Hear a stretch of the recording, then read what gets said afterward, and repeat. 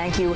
A young Chattanooga girl is in the hospital after being hit by a stray bullet on Sunday. News Channel 9's Mariah Rock joins us live from the hospital where the little girl is starting her long road to recovery. Mariah, do police know who did this?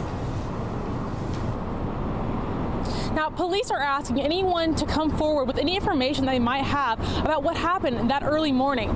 Now, we talked to the principal today of the girl who was struck by a bullet, and he says despite what happened, the girl seems to be in high hopes a little more than two weeks before school starts, and one nine year old is spending her days in the hospital dealing with life changing injuries. Doctors indicated that it's probably most likely that she won't walk again. The young victim's principal, LaFrederick Thurkill, says he sat with the family after the shooting, offering any support he can. We care about the student very deeply and, and want to just make sure that if there are any things that we can provide from the school or the school system, that uh, we are. Uh, just paying attention to the needs of the family at this time. Chattanooga police say at least 20 to 30 people were here on Doolittle Street in a dispute in the early morning hours of Sunday, but no one is saying who pulled out a gun. We know that numerous people were out there, people witnessed this, and uh, people know who the shooter is.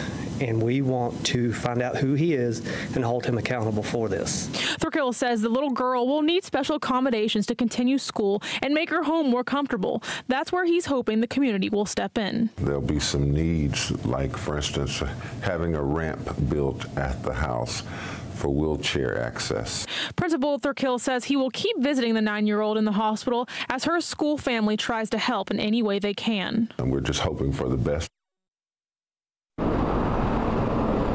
Now, police say that they do not have enough evidence to say that this was a gang related violence. Reporting in Chattanooga, Mariah Rock, News Channel 9. Mariah, thank you. If you know any information regarding this incident, Chattanooga police want you to call them. If you're interested in helping the young girl and her family, you can contact the principal. That information is on our website. Just find this story at newschannel9.com.